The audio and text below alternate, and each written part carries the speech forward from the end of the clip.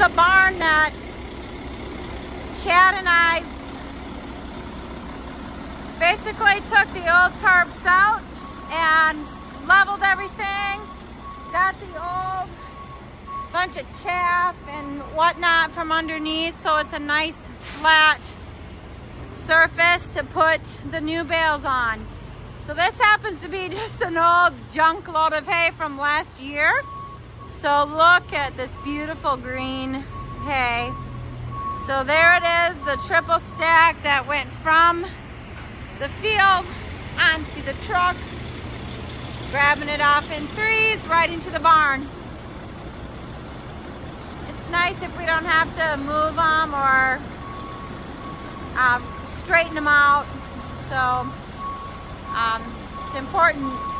Basically, it's always important to do your best